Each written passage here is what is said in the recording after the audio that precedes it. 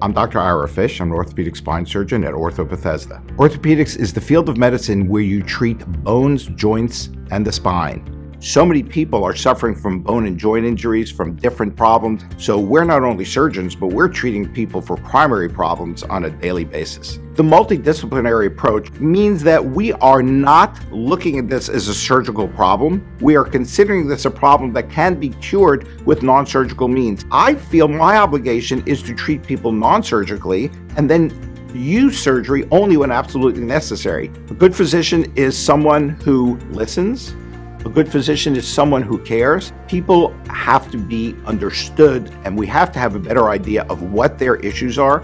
I know that when I get to work, I'm going to be helping people. I love coming to work every morning.